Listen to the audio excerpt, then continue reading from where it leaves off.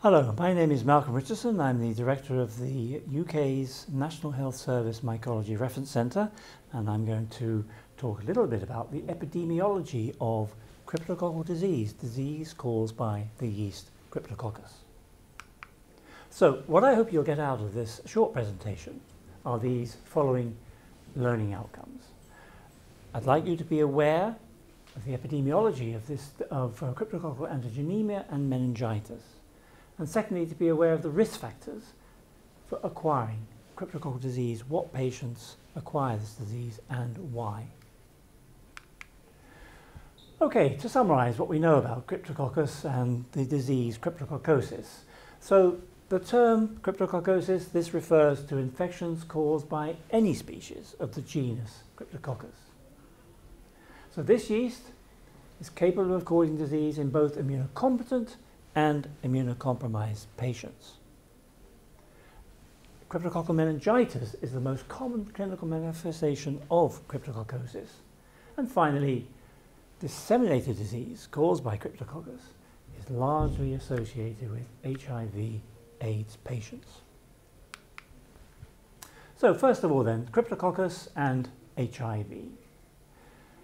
In certain parts of the world, in particular in sub-Saharan Africa, it's the second or the third leading opportunistic infection in patients with HIV and AIDS.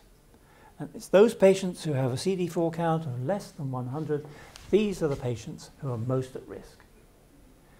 And this is a nasty infection. It's responsible for up to 15%.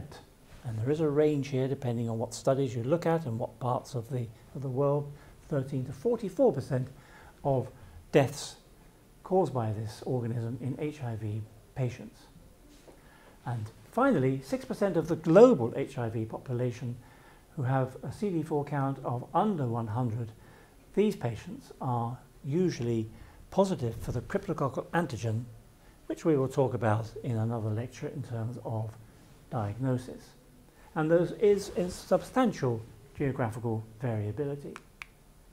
So we can look at the prevalence of this antigen. So the antigen is released from the polysaccharide capsule that surrounds the yeast and has over many, many years, 50 or 60 years, been recognized as the diagnostic test for this disease. And we can see here from a variety of studies, we can see the prevalence of the um, antigen positivity in different parts of the, of the world, primarily in, in Africa, ranging from 4% up to 13% uh, in, in Nigeria, and in relation to the, the CD4 uh, T cell count. So patients with a low number of, of CD4 cells, as I've said, below 100, we can, we can see the, the variation in the prevalence of this antigen in patients. So, which patients are at risk? First of all, um, it's primarily HIV positive patients here, so we have 80 to 90% of these patients, they can be at risk of this particular organism.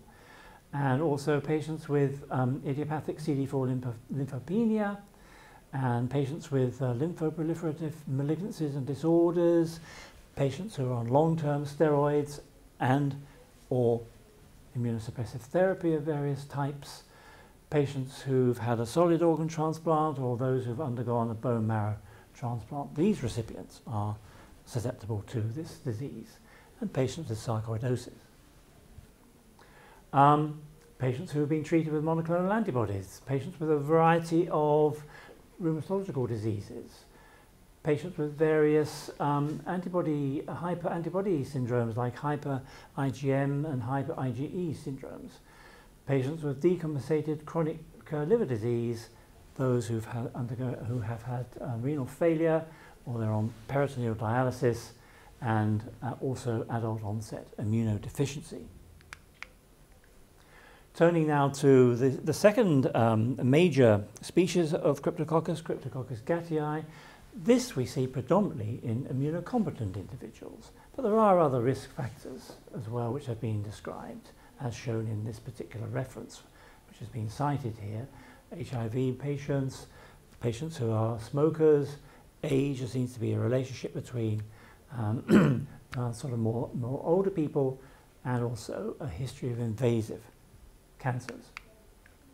So we can look at a couple of studies here. One uh, published by Parks in 2009 in the journal AIDS, looking at the global burden of disease, cryptococcal disease. Um, at that time, there were few provider-based cohort studies, and the um, estimates in this particular analysis and survey probably overestimated the actual burden of disease, but we can see here in the top right hand uh, panel of this, uh, of this slide that it's patients in sub-Saharan Africa where we see um, most, most cases with much, much lower numbers in other parts of, of um, the, the world, the um, Americas, uh, North Africa, Europe, and also in Asia. A much more recent study that was published um, this year in Lancet Infectious Diseases um, seems to indicate that there's a decreased global burden, but the mortality remains unchanged even though we do have effective drugs. Um, in 2009, the mortality appeared to be uh, 65%. 2017, it seems to have increased up to 80%. And it's sub-Saharan Africa which still has reports the majority of cases and deaths. And we can look also ac across the um, across the globe, not just focusing on, on Africa.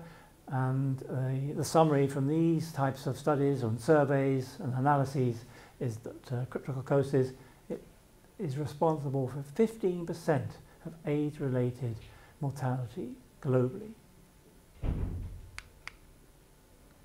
And the key thing is here that the prevalence of antigenemia the, it seems to be about 6% among, amongst HIV uh, patients, so that reflects exposure, of course, and, and degree uh, disease progression in patients, particularly who have a low CD4 count. So in summary then, um, it's HIV, it's AIDS, appears to be the most common risk factor for acquiring this disease. And I think that's just a reflection of very poor, low host immunity. It accounts for approximately 15% of AIDS-related deaths and the global prevalence of antigenemia, cryptococcal antigen, it appears to be up to 6%. Thank you very much.